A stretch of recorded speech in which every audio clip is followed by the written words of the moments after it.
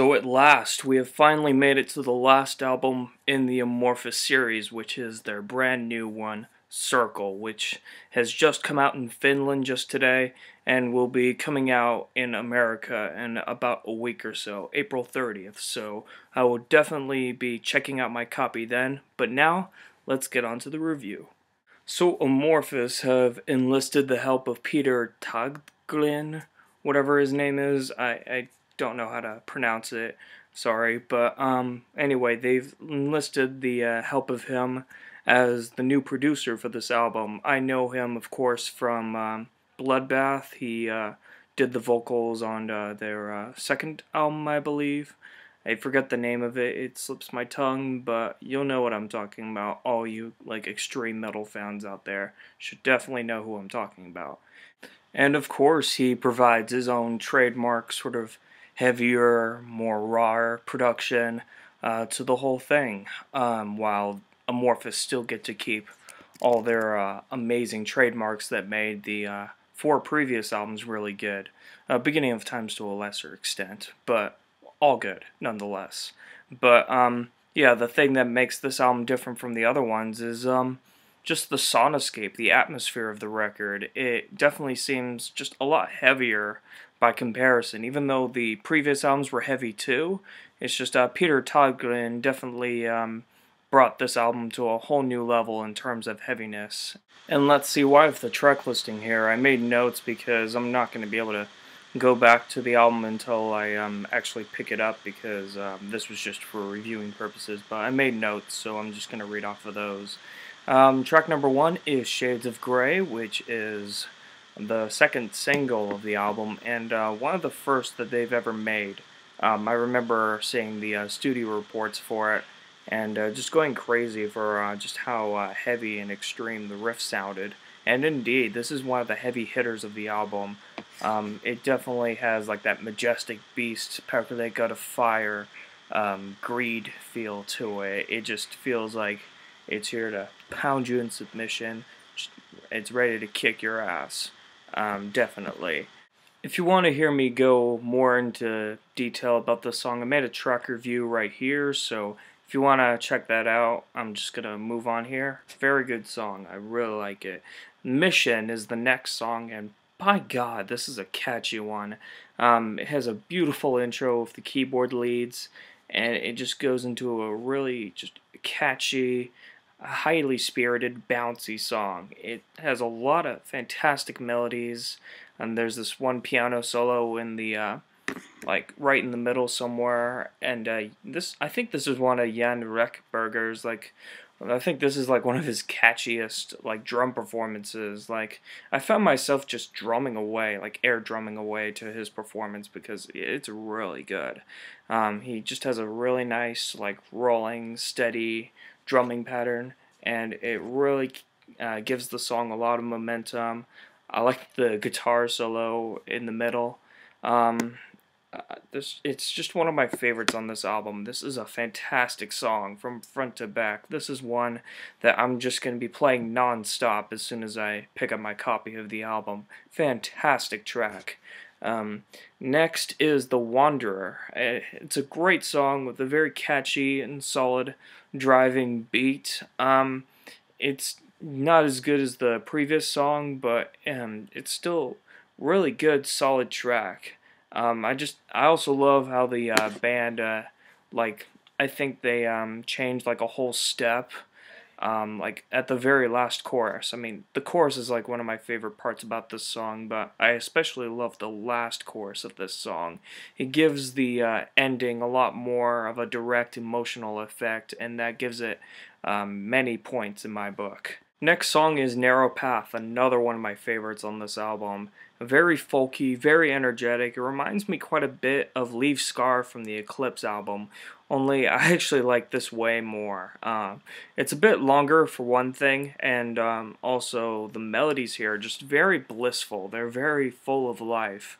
Um, just throughout the entire song, like especially during the chorus, the bridge, the solo section, and like the very ending of the song. I think there's just um, there's a lot of life in it, and I can't really describe it much further than that. There's a lot of fantastic riffs here, great drum work.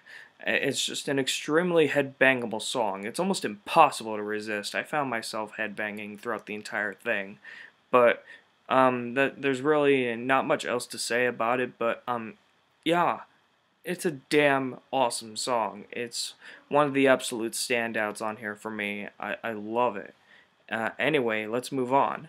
Hopeless Days is the first single of this album, and um, at first I gave it like a solid 8 in my uh, track review, which by the way, I'll uh, put a link to it right here, so if you want to check that out.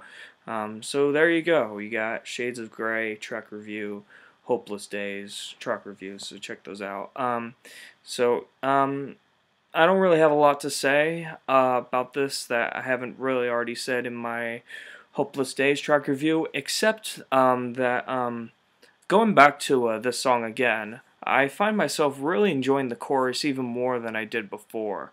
Um, the chorus I thought was, yeah, okay, but now just uh, going back into it, I think it actually resonates a lot more with me, and I find myself really wanting to sing along with it. And I know I definitely will whenever I pop this baby into my car, so yeah, great, great song. I think it's getting better and better the more I listen to it. Next song is Nightbird Song. It's a, it has a very soft, uh, gentle introduction, and uh, and that it turns out to be the biggest cock tease you'll ever find in metal music because uh, right after that little introduction, boom, um, there's just like you just get hit in the face with like a jackhammer of just furious riffs and just aggressive vocals. Um, this is another one of like the heavy hitters on the album, and I think this is the first Amorphis song I've heard which actually takes in a bit of black metal influence because a lot of the riffs in here they have that so um, that's pretty much what the riffs sound like. It's very black metal esque, and even Tomi Joutsen's vocals sort of go into that uh, black metal area. I mean, not quite, but you can definitely see he's trying to get into that region. And uh, this turns out to be a, another standout, uh, another one of my favorites on this album. I, I definitely love it.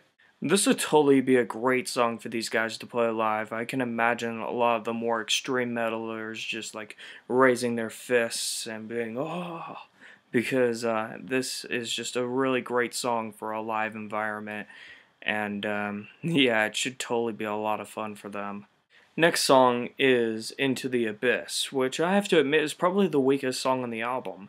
Uh, I'm not saying it's bad or anything, I still think it's a good song, and it beats a lot of the uh, songs that I've heard off of the beginning of Time's album, which I thought was a little underwhelming, but Anyway, yeah, uh, Into the Abyss, like, in the context of this album, I think is the weakest song on here, but uh, for what it is, it's still really good. It has a great, like, keyboard intro, it sets a really good tone, um, there's some really good like clean vocal passages throughout, and it has a very interesting like time signature that these guys play. It's like a dun dun dun dun dun dun dun dun dun dun dun dun dun dun dun dun dun. Um, so it sounds very unique for this band. I mean, I could imagine Amorphis playing um, a time signature like that before, but it's not something I heard uh, too often, I don't believe. It sounds very prog-like, but I could totally imagine Amorphis like playing something like that.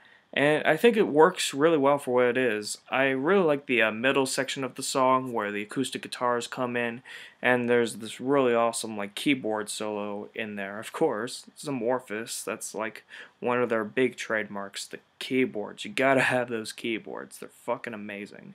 But yeah, Overall, I think this is probably the weakest song on the album, but just not bad. Still really good for what it is. Next song is Enchanted by the Moon. Holy shit, is this one good. Um, it has a very doomy intro, uh, which will then um, get into um, basically the music that makes up like the chorus of the song, and then it goes right into that verse. A very pounding, crushing, doomy verse. Um, Tomi's just growling away. Uh, it has that dun dun dun dun dun dun dun, dun sort of sound to it, and uh, the organ complements it very well. It's a very haunting, like menacing sound. Um, it reminds me a bit of uh, Tales from the Thousand Lakes, how we heard organs off of that. And the organ sounded really haunting on that album too, and they do here especially as well.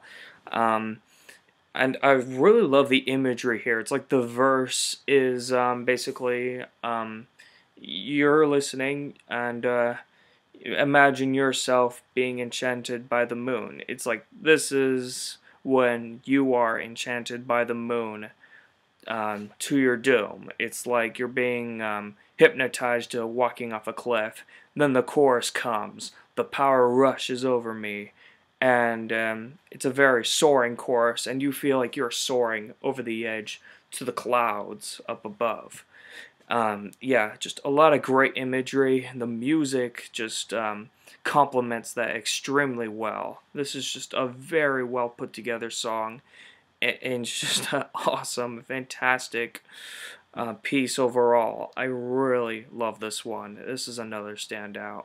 And at last we make it to A New Day, the epic finale of the album. You can tell they're going for like a more heartfelt vibe on here.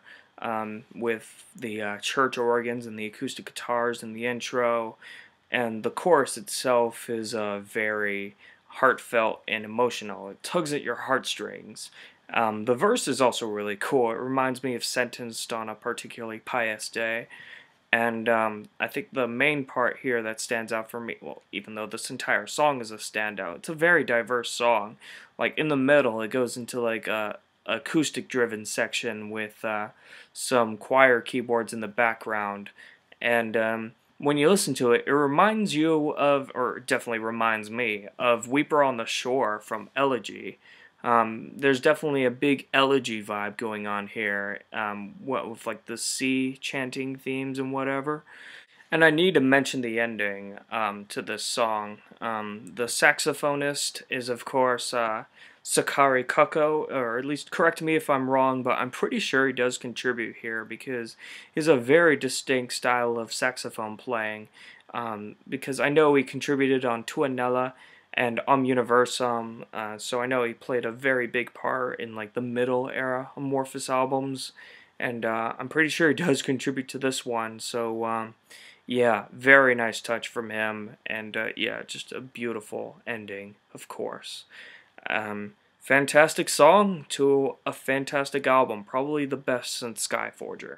Overall, I might as well give this a 9.25 out of 10. This is an excellent release.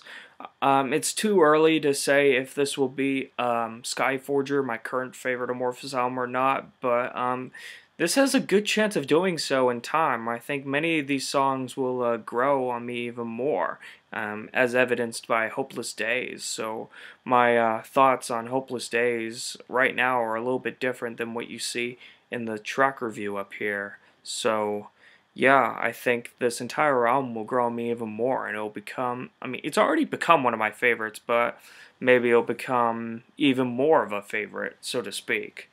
But anyway, um, that's all I have to say about this album. Definitely check this album out, guys. If you're in Finland, uh, you must have already bought the album already. But for all of us here in America and abroad, pick this album up when it comes out on April 30th. I know I will, like the first day it comes out. So, yeah. I know this review's been really long and all that, but I just want to say thank you very much everybody who's been following my Amorphis discography series. If you haven't uh, checked out all the other Amorphis reviews, you most certainly can. They all vary in range to some extent. But anyway, I'm done rambling. Thank you very much for um, sticking around, and I'll see you next time.